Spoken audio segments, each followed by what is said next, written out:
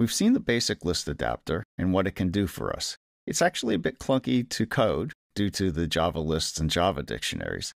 Custom list adapters give us control and flexibility about how each item looks and what the content is. It also gives us the benefit of avoiding the dictionary objects. We can put in our straight business objects into the list adapter. In this example, we're going to create a contact list as a precursor to our social app. Each item will have a person's name, email address, phone number, and a picture. And it will look like this. So here are our items. We've got the name, email address, phone number, and a picture. So let's see how we built that. First thing is we have a storage class. It's just a contact item, has the ID, first name, last name, email, phone, and an image resource. That's an int because we've put the resources for the pictures in our drawable folder. Now, you might in the future do this with a string resource to indicate a file name, but using an image resource is fine for now.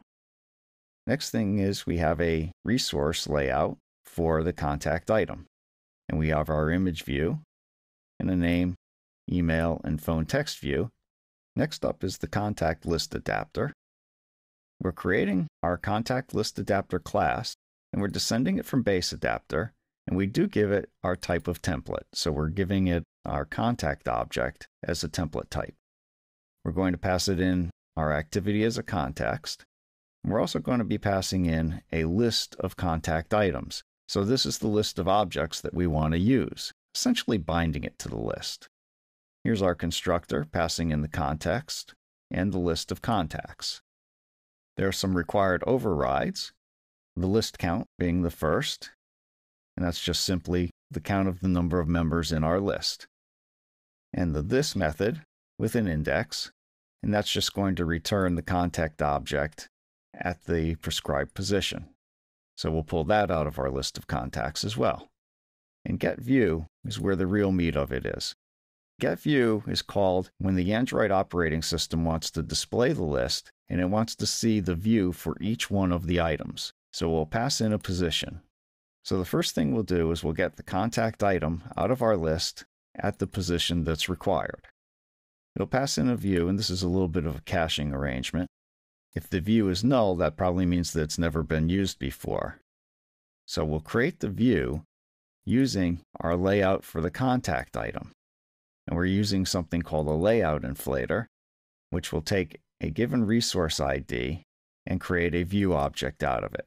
It's very similar to that find view by ID, which we've seen before and we'll see in a couple of lines, but in this case it runs off of that activity context. Now that we've got that view, that's basically our parent view for the controls that we want to populate. So we first want to get the image view and the three text views. And we get them using this view that we just created, and then we find the view by ID, same as we would in a normal activity. We'll take our image view and we'll set its image resource. And we'll set that using our contact items image resource property. We'll take the name and set the text equal to the first name and last name, and just using a normal buffer type. The email text view will take our email address from the contact item, and the phone text view will take the phone number. Finally, there's an override for get item ID, which passes in a position in this case, we could actually call out the contact ID, but I've just chosen to pass back the position at this point. The activity is actually fairly simple. We have a list view.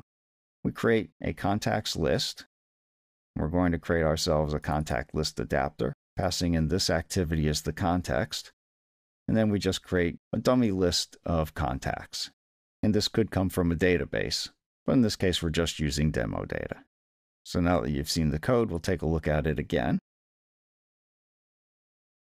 And here's our item.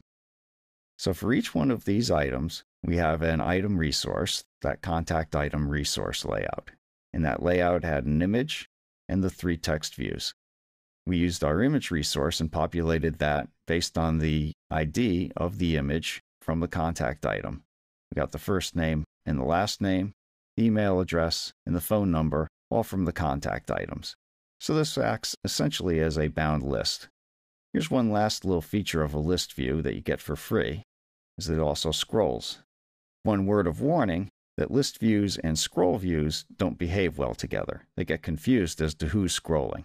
So now you can see the amount of power that you have in a list. We can put any sort of layout and bind it to any kind of object that we want using this sort of technique.